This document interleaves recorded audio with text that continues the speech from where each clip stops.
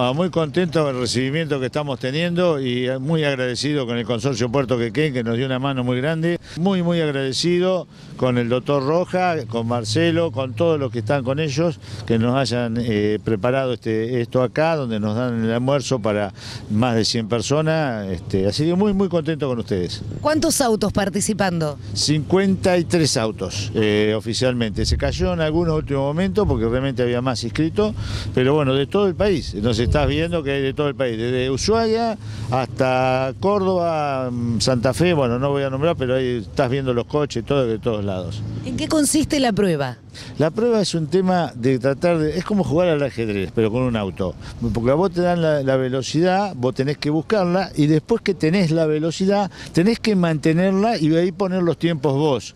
¿Y cómo haces? Porque un día de viento y todo eso. Entonces vienen renegando con el viento y con H, con H y con B. Pero realmente es una cosa así. Acá tienen ustedes un grupo, un adelgado del Barba, que compiten con muy buen éxito. Son los únicos en Nos gustaría que hubiera alguno más. Eh, si alguien quiere participar, nosotros hacemos un campeonato en desarrollo, eh, nosotros lo asesoramos, el que quiera, ahí es muy bienvenido. Y en este caso, ¿qué tiempos tuvieron que cumplir?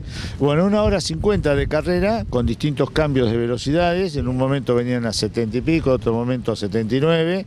Eh, van cambiando la velocidad. Es una prueba de prueba y error. Ayer competimos de desarrollo a San Cayetano, almorzamos en San Cayetano, muy agradecido también al municipio de San Cayetano con Gargaleón en la cabeza y volvimos a desarrollo. Anoche hizo una carrera de regularidad a pie en la plaza principal. Después hubo una pizza con cerveza, se comieron más de 90 pizzas, eh, y esa prueba regulada eh, era con elementos perecederos, se recaudó alrededor, dice que alrededor de 500 kilos de alimento perecedero. Eh, Te digo, yo vi en donde se puso y era impresionante. Este, así que eso también es bueno para la ciudad. ¿Y ahora siguen para dónde? Ahora almuerzan acá, en el- la escollera, y volvemos a desarrollo y esta noche es la entrega de premio y ahí se finaliza todo y ahí salen todos mañana cada uno para su lugar. O sea que el ganador se conoce esta noche allá en Tres Arroyos. Esta noche en desarrollo. Son cuatro pruebas donde se descarta una y se hace de las tres mejores el- el ganador.